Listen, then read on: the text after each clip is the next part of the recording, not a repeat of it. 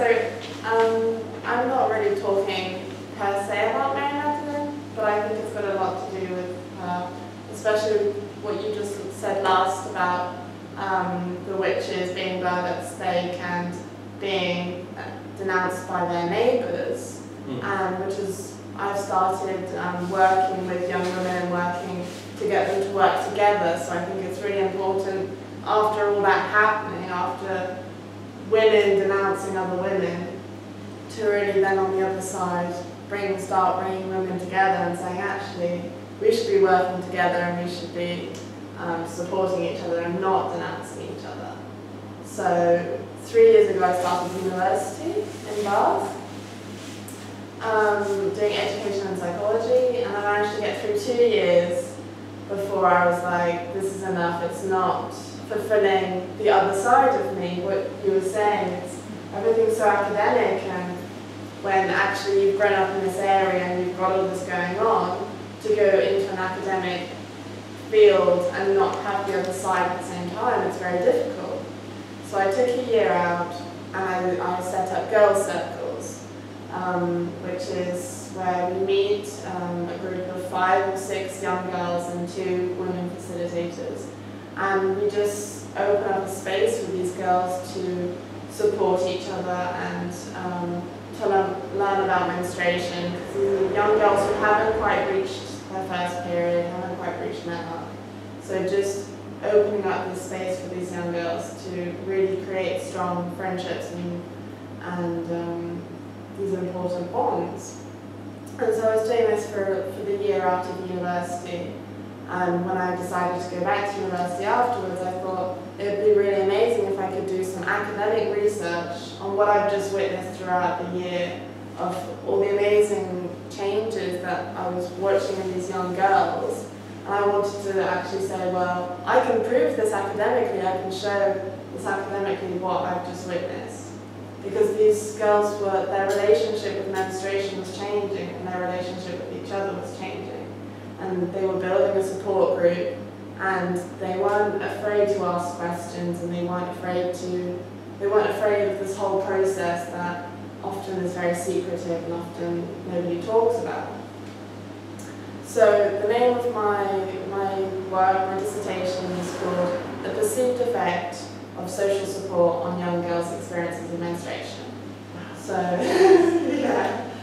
Um, and so I was more interested in not what I saw as the effect, but what the young girls themselves, the effect that they really felt.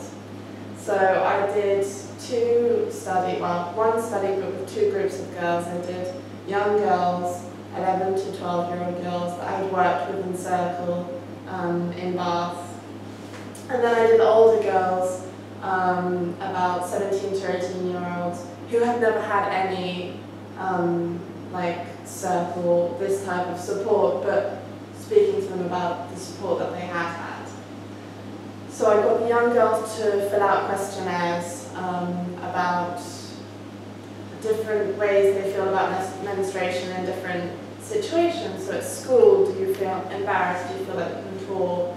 where's the, the safest place you feel to talk about anything? And practically all these girls said that in circle was the safest place they felt, or at home on their own with their mother. And the older girls said that school was just such a stressful time and they didn't know what was going on and they had so many unanswered questions. And these younger girls who only literally just started, or many who hadn't even started yet, were already ahead of these 17, 18 year old girls who had been menstruating for five years, five, six years. And they were already ahead of these girls. They already felt more confident. They already had more knowledge about the process, whereas these girls had actually experienced it for a, a good amount of time. So there's actually lots of research on social support, which can be broken up into different categories. So emotional support, practical and informational. And so I was more interested in the emotional support. But actually, what the girls brought up was they really needed the practical and the informational support as well. And what they needed was it both to be together for them, they needed to receive emotional support and practical support together. So they needed to learn about everything that they needed to do, but in a space that they felt safe and a space that they felt emotionally supported. And so there's a theory of social support that says that when you're when um, you feel socially supported, your stress stress levels are reduced. So I wanted to see how social support can affect the stress levels to do with menstruation, but also wanted to see whether it could have any effect on embarrassment, because I feel like that's very big for these young girls, that was a very big thing for them. They were often embarrassed, which is one of the big things that was stopping them from asking questions and helping each other and supporting each other, or even just talking to each other and expressing themselves. And so what I had found was that um, when you mix both emotional and practical support, it had like huge effects on their levels of embarrassment and their levels of stress. And so I, I was able to, to use this theory, but just to completely blow it open and, and use it for something that had never even, nobody would even thought, think about using it to look at menstrual education. Um, and just speaking to the older girls as well, um, it just led on to so many topics that just um, education on your body, it, it affected their entire lives because it, it affects birth control and the way they see their bodies and the way they feel about their bodies and that they were saying that if they just had that extra little bit of support, if they just learned more information, if the, the men that they were next to, the, the young boys in their classes knew more information and then the whole experience would have changed. And this is what I'm starting to see with these young girls and it'll be interesting if I can go back and speak to these young girls afterwards and follow some of the girls that I work with in Circle and see when they're 17, 18, how they compare to the 17, 18 year old girls who didn't have any of this and whether um, maybe they're getting it from other places, a lot of them are getting it from their mothers. But there are lots of young girls without a supportive mother or with an absent mother or who they don't feel like they can talk to. So at one point, the education system needs to come and step in and be like, well, we're educating these girls on everything else, so why aren't we educating them on one of the major parts of their body? And educating them to support each other. So that was, yeah, that was my research and um, I absolutely loved doing it. It was, I had so, so much support as well, which was one of the major things was I had all these women who were willing to help me all over the world. And unfortunately I could only base it in England because it was a short project and you have to follow certain rules. But I had people in America, so many women in America who were running circles as well and like, we would love to participate, we would love to help. And just that, just seeing how many women are stepping up and saying, actually this is really important work and we would love to share this work and love to show what, what effect this is having.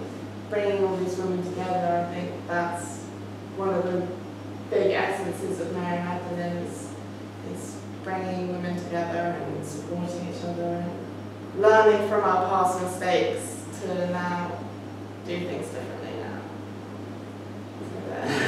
So I don't have much more to say, I just wanted to. Right, okay, well thank you so much. Thank you. Um, questions, discussion, you've got some time. Do you think there was, um, some girls have received more support, do you think that they experienced less painful periods than girls that received no support? Well, I, I think personally they would, but lots of the girls who'd received that support haven't yet had their periods, so it'd be difficult. I'd have to go back and see and speak to these girls and go back. But I think it would have a big effect on the pain because they would also be learning healthier ways. So what we teach in the circles is um, natural ways to reduce pain and actually a lot of it's to do with the emotional, your emotional link with your period and your diet and all this. And if the girls are learning a healthier way, a health, having a healthy relationship with their periods, then I do believe that they're pain levels would be greatly reduced.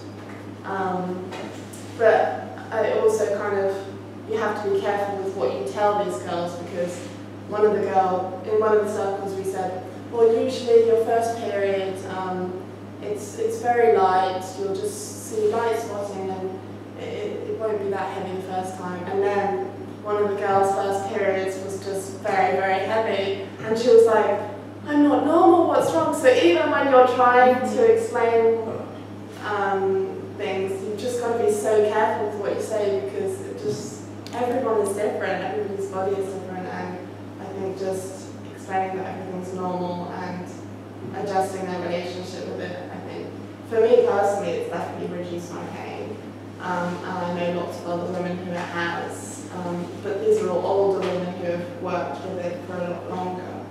Um, but it would be great if we could start from the beginning and just get eliminate pain altogether because actually there should be no pain at all because it's it's a naturally body function and normally it should be painless. Like going for a wee. If you suddenly have pain going for a wee, you're going to be asking questions and being like, well, something's not wrong, something's wrong, something's not right. But we kind of have stopped questioning why we've got pain when we have our periods. Whereas actually, I mean, obviously there should be some discomfort, lots of things happening, but it shouldn't be like this gauging pain that lots of these young women are, feeling. So I think I hope with more work with them that it would definitely reduce that. Have you studied any teenage pregnancy?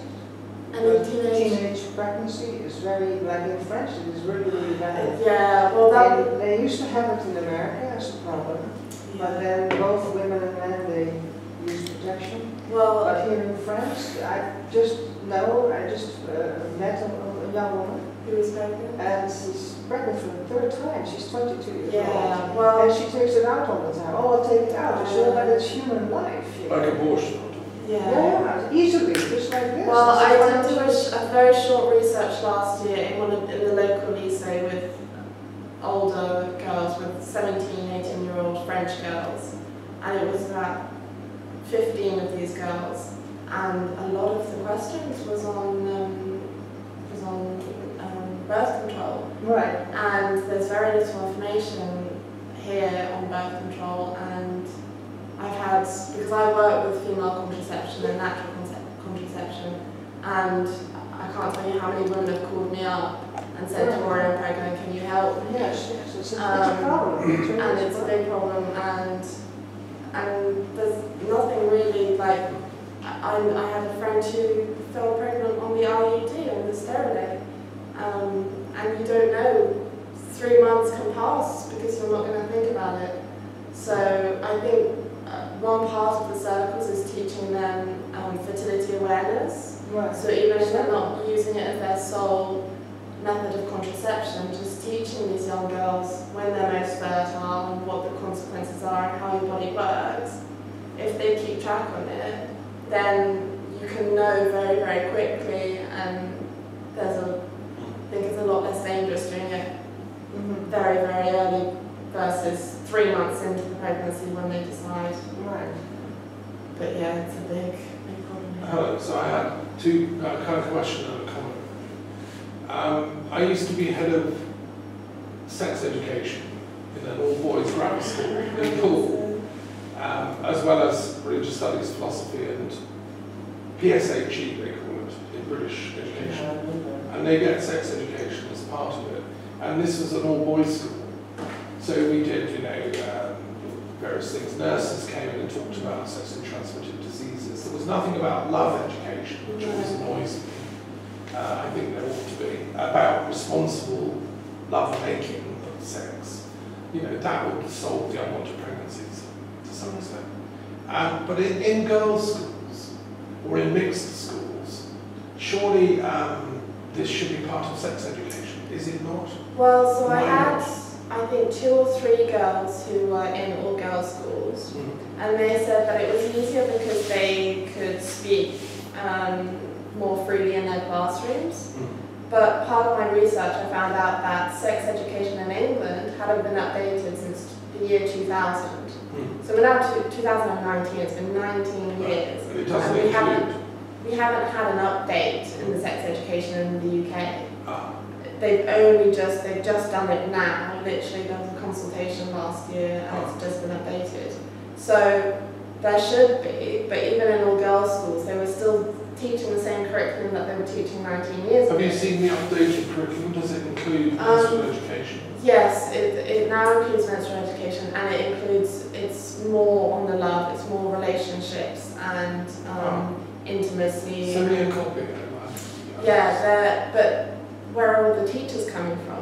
Because how, who's going to be teaching this? There's nobody who's qualified at the moment to be teaching this because they can't just overnight teach one thing and then decide, oh, we're going to teach It's this. normally and- the RE teacher that gets this. Yeah, but where's, where's she getting the But if you're information some from? Where's she, how 50, 60 year old Yeah. RE teacher that really doesn't mean, want to be doing this. When I went into lycée and did my research with the local French girls, Mm. I had the school nurse with me, and I knew more about menstruation and sexual education than she did.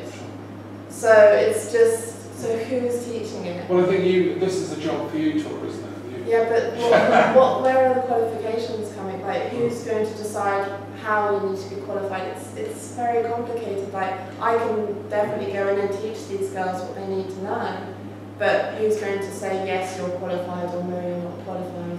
That's a That's- bigger that's- discussion about the nature of education. So you have to be a nurse, or you have to say, be... can you work with a nurse? Yeah, well, this is what I was doing. I was working with the nurse, so they allowed me to come in. Um, but I actually never got, they were going to give me feedback, but I actually never got any feedback. And I do think the nurse was slightly, slightly embarrassed because I knew lots of the things that she didn't. And I was going kind of being like, um, are you like, do you agree with what I'm saying? And she's like, well, I don't really know. I, I've not learned much about this. Um, Well, I hope, I hope you publish your research. You can publish it as a little. well, I think I need to, yeah, because at the moment it's a 7,000 word dissertation, so I need to write a journal article style paper out of it, I think, and just Yeah. Put it down to 10 pages, just what I've said today basically, because you don't need to read through the whole everything. Um, but I would like to, yes. Yeah, I think you, Um, you, you know, we, we will support you to do that. It's important. There are a few people who have published. There's a, um, a charity in England called Plan UK International, and they've just published a, a report called Breaking the Barriers, and it's all about sex education. And they've said a lot about what I've said, but I've just gone deeper into the one specific topic, and they've talked about a whole variety of topics. So there's lots. It's it's getting bigger in the UK at the moment, but France are really, really behind. I also had a comment to make, just to share with the group, um, which is relevant when you were talking. Most people don't know this, but I've just written a book with a scientist who's an embryologist called uh, Richard Dryden. He is a professor of embryology in the UK, He's a descendant of the poet John Dryden, as it happens. And um, it's called The Book of the Egg. And it's an exchange of essays. He is a philosopher and religious studies expert peace studies expert, and he was a pure scientist. And he's writing articles, and uh, we're discussing what is an egg, what's it made of, who invented it, where did it come from, how did it evolve, why is it important in religious symbolism. Um, and menstruation is about the egg. This is what it's about. And so we talk about that. And in my chapter, I talk about the taboos against menstruation and the fear of it. And a lot of men used to think that women became quite witchy, you know, during that period, and they shouldn't be touched. You know, there's all kinds of taboos, and some of them, you know. So there's, so anyway, the book of the egg, it'll be published like next year. We're just finishing the essays and things, and it's quite interesting because I put forward in my argument that there's okay. At the root of a lot of ancient religions is a kind of egg worship going on. And it's interesting, Mary Magdalene in icons is shown holding a red egg, a red egg. Right? So she is the life force, the egg. And what I argue in my uh, essays, of course he's the sort of materialist scientist who shoots everything I say down, and then I come back It's going to be a great book, you know, People to Both Wings. I say the egg is a vehicle created by divine intelligence for the embodiment of spirit in form. That's me as a philosopher speaking. He says, nonsense, you can't talk like that, get away with it. It's just evolved, I can explain how it works mechanistically, and this bit does that, and that does that, and it's all just random chance. And I say, no, it's a divine wisdom work. So my question to you is like, do you ever get onto the divine wisdom part of the discussion? Um, with the young girls, we go into some of it, into intuition and things like that. But about the egg, I do think that there's two important times in your cycle where the egg is very present, and one of them is menstruation, where you can be very creative and tap into the divine feminine. And we talk a lot about that with the girls, that the when you are bleeding, that that's a really good time for them to be creative and go within and really, yeah, look after themselves. Mm. But then also another important time, which has got a lot to do with teenage pregnancy, is um, when they're ovulating and when they're having sex. When, because ba- love making, Mm. it's usually it's supposed to be to make a baby, so to make a baby from the egg, so creation. Mm. But you need to teach the, the young people that actually, if you're deciding you don't want a baby, that energy is still coming out. The creation energy is still coming out into that egg.